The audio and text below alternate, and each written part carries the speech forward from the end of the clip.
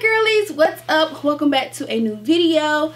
If you're new here, my name is Lauren Alexandria. I create content centered around fashion hauls, essentials to wear in your wardrobe during the different seasons of the year, ways to style different pieces for different types of occasions, luxury bag unboxings, home decor, and a little bit of travel. With all that being said, today's video will be about none of that.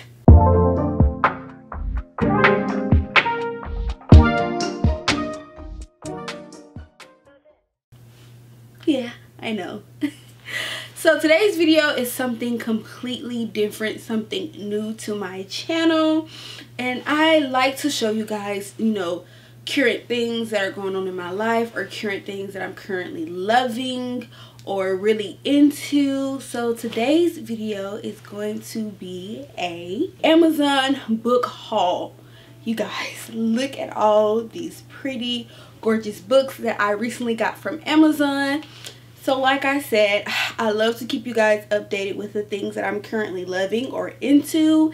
And I am currently into reading romance novels. You guys. Like I have been so deep in books recently that they almost feel like movies or like I'm actually in them. Is that crazy? I don't know. If you're a reader, let me know if that's something that you feel as well but yes i have a amazon book haul for you guys today. Like i said look at all these pretty books. So all of these books are romantic comedy because that is the um like genre i currently love reading or i've always loved reading. Um y'all i've been a huge book reader since probably middle school. So of course the harry potters the divergents um, all of those books, The Twilights, all of those I was a huge fan of reading. But I recently got back into reading um, back in February when I went to New York and I visited the Strand bookstore. And I picked up this book, this romantic comedy book, and I completely fell in love with it. And I have been like hooked again ever since. So here is this. We're going to get right into this haul. Again, if you're new here, please don't hesitate to hit that subscribe button as well as that bell icon so you'll be notified when I upload new and exciting content like this one we're about to get into. Alright y'all, so we're about to get into sharing these books. As you see, I have them um, color coordinated and I'm going to share them that way. So I will be explaining the tropes and a little bit what it's about, um, how much it costs. I would say most of these were under $20 yeah most of these were under $20 as well as probably under 15 I think it's one that's right at $15 and I'll let you know which one it is. But also most of these did just come out in the month of May. So a lot of these are new um and a lot of these are on my tbr list. So to be read though i've already gotten through half of them there are a lot here that i have not read. Okay so the first book is the wedding date. Now i saw somebody mention this book on instagram maybe two months ago and i was like okay i'm gonna pick it up when the time is right. So i recently got this one in the mail yesterday you guys got it in the mail yesterday and i'm super excited to read it. So this is the first book that is on my tbr list. So it's the wedding date by jasmine Guillory. you guys i hope i am saying that right. So the trope is like strangers to lovers i do believe. And it's about this guy named drew nicholas who gets this girl named alexa monroe to go on a wedding date with him to his ex's wedding crazy. Heard so much about this book so i'm super super excited to finally read it. Of course it was on the new york times best-selling list so yeah that is the wedding date. And this book cost me nine dollars. Yes this book was 9.36 so under ten dollars or right at it with like taxes and stuff from amazon. Y'all before I even get started, before I even get started, I just feel myself crying, crying, crying again, all over again. Um, book lovers, book lovers, book lovers, book lovers by Emily Henry. as you know, Emily Henry is one of those authors that is a automatic buy, like an auto buy. If she's put out a book, I'm gonna automatically buy it. I don't care what it is, what it's about, what other people say, the dislikes or likes. I'm gonna buy it. I'm gonna read it for myself and judge it for myself. And nine times out of ten, I'm probably going to love it, no matter what people have said about it. But book lovers, y'all, I have read plenty and plenty of books plenty of books in my lifetime and I'm only 30. And I have never read such a romantic book in my entire life.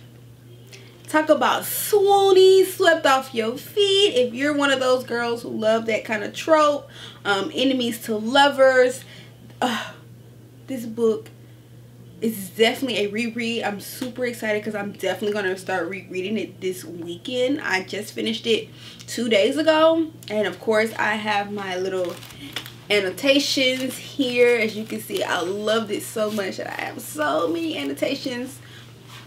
Book lovers. Okay, next up is this book called Olive by Emma Gannon. Y'all, I'm going to be completely honest. I picked up this book because of the cover.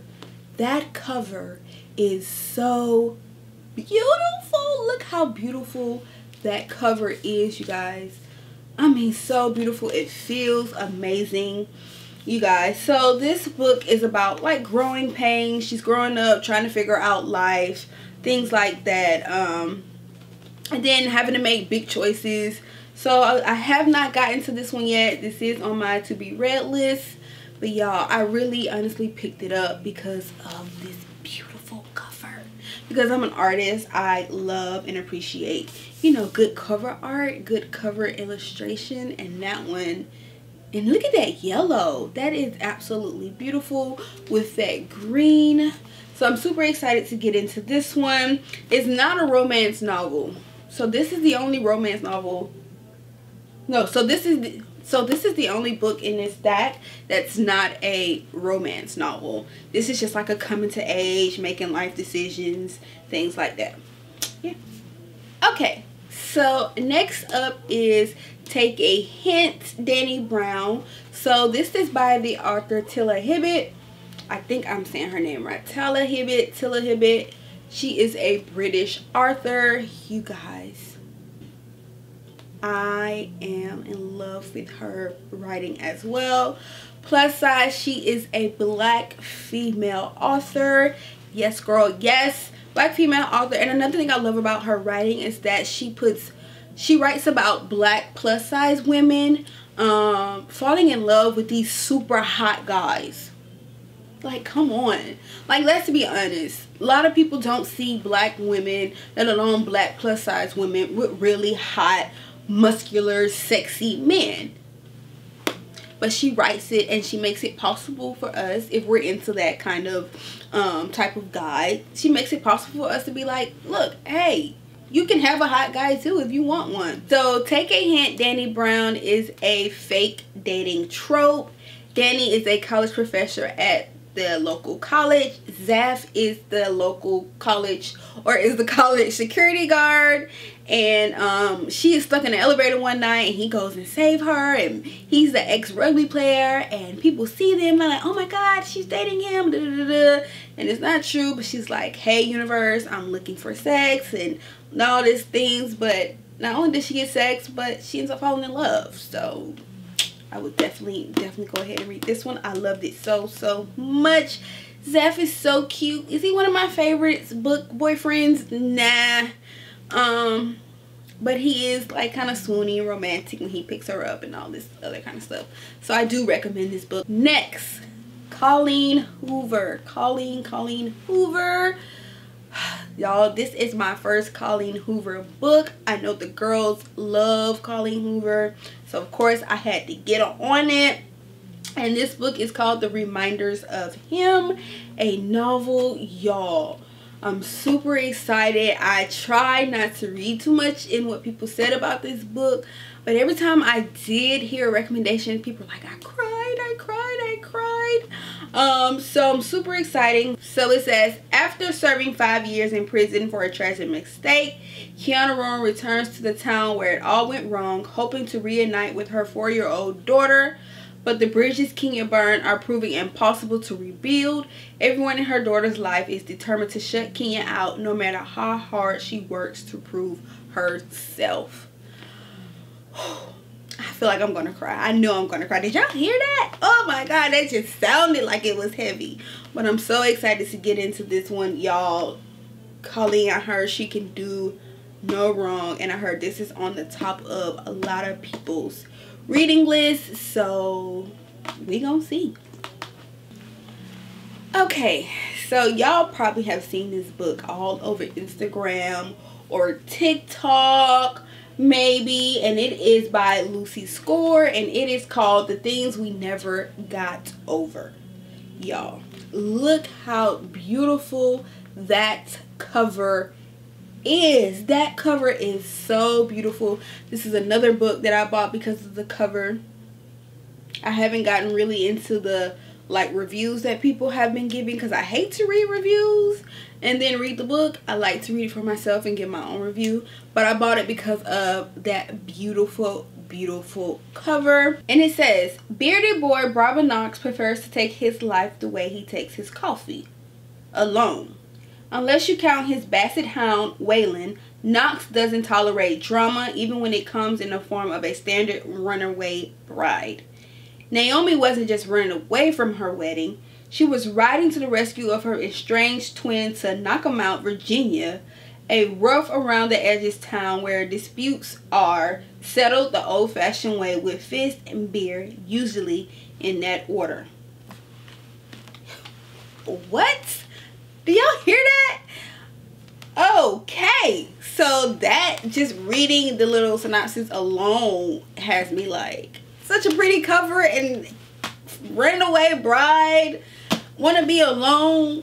What? Y'all i'm super excited to get into this book. It just came out last month another may release. So and it's pretty thick. This is a pretty thick book y'all. When they got it in the mail from amazon i was like whoa this book has about let's see 557 pages. So it's she's a she's a thickie. She's a thickie with small print. So we're gonna see if she's a easy read, a page turner. Um, but I'm super excited to get into this one. So so so excited. Okay, you guys. Next up is the love hypothesis.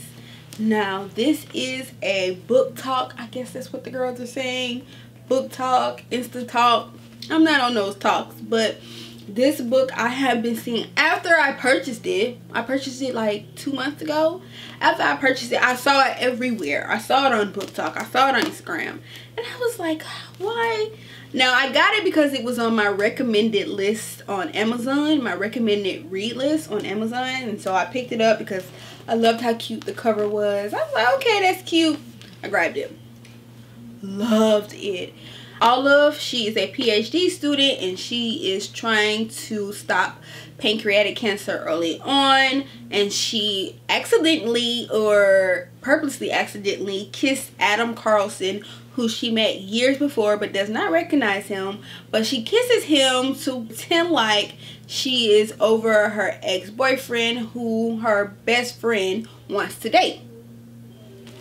So the trope is fake dating. She's fake dating her Professor Adam Carlsen just so that her best friend knows that she's moved on from her ex Joshua. I do that.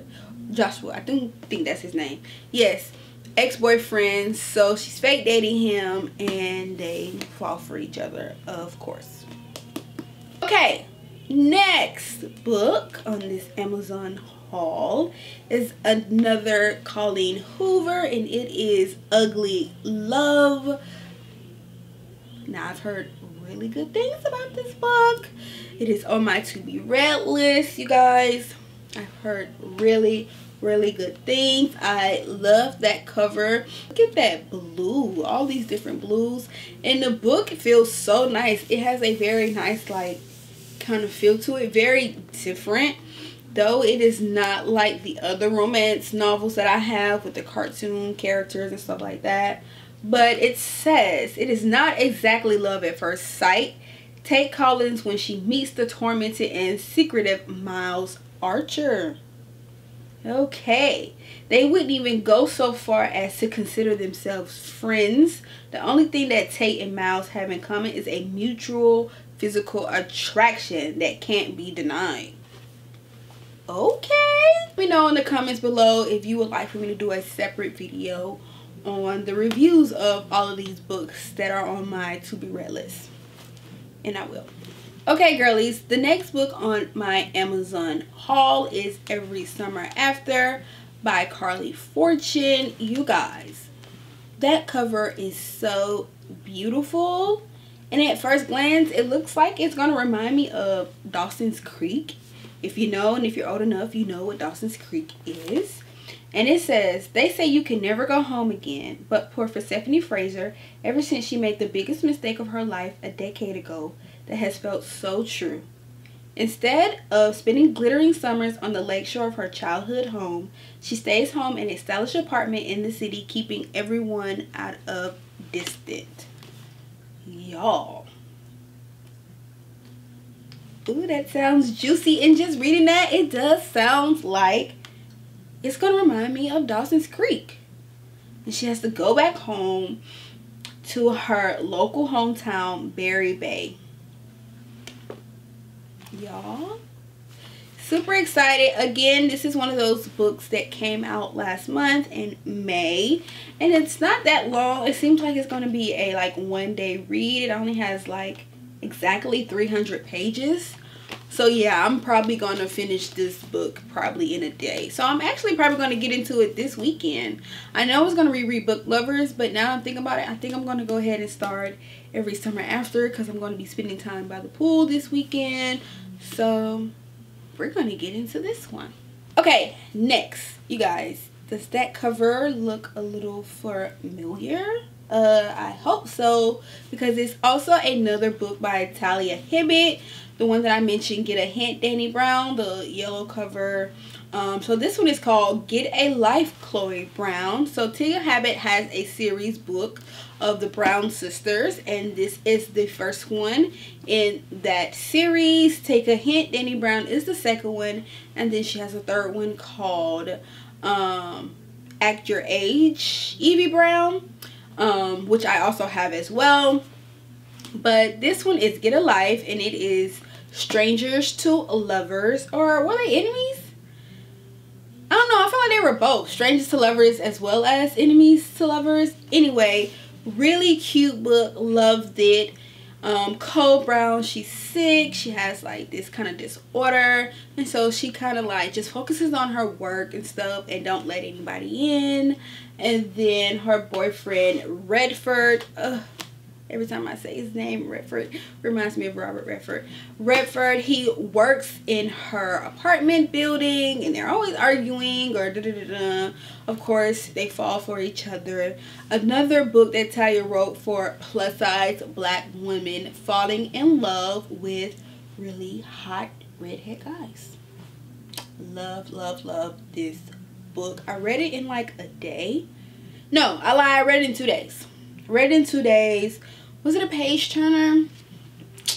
Eh, not really. It was an easy read. I wouldn't just say, oh my god, I couldn't put it down. But it was good. It does have some spice to it, ladies. So if you like the spice, it does. The spice is on like a, um, a 4 out of 5 stars. So spiciness. So yeah. Alright, and the last book on this Amazon haul is called In Five Years by Rebecca Sterling. You guys, this book has completely wrecked me. I've never cried over a book before until this one. Like, oh my gosh. It is it is a romance novel, but it's not the romance that you're expecting. Um, so it's about this girl named Diane. She has this perfect life at this lawyer firm and his boyfriend proposes, da, da, da, and she wakes up in five years to a different life y'all y'all so so good it's definitely an airport read, a one sitting read. Very, very short book, but it is so good. I cry my eyes out. It is a page turner. I could not put it down, y'all. I couldn't even work. I read it in one day. One day. I woke up at 8, I believe, and I read it all the way to midnight. One day. So, so, so good. Alright guys, so that is my Amazon book haul. Again, I did get all of these from Amazon within the past two weeks. Yes, within the past two weeks except for In Five Years and The Love Hypothesis. Everything else I got in the past two weeks and I'm super excited to read them. As you can tell, most of them are on my to be read list, and I'm going to get into every summer after probably today. So yeah, I'm super excited to get into Colleen Hoover because she's the girl's favorite right now.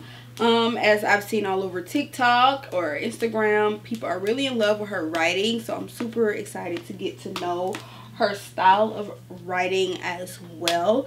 I also did pick up some book tabs. So if you're an annotation or somebody who loves to annotate like me, I did pick up a couple of book tabs from Amazon as well. And a lot of these match the books. So pretty. Like, look at this one.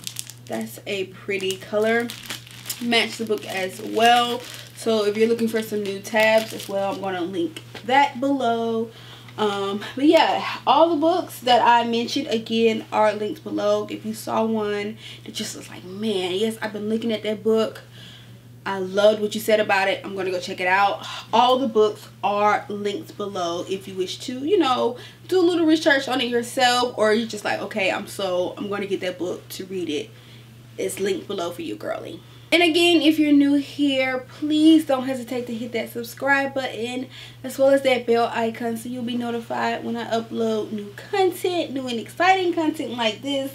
Though I normally do fashion content, like I said, I wanted to keep you guys, you know, updated on the things that I'm currently into. And I'm currently into romance novels, definitely with all the um, shootings and mass shootings going on in the States right now. I kind of had to escape a little bit from social media and reading these romance novels have helped me so so so so much. So yeah. Again thank you so much for watching and i'll see you in my next video. Bye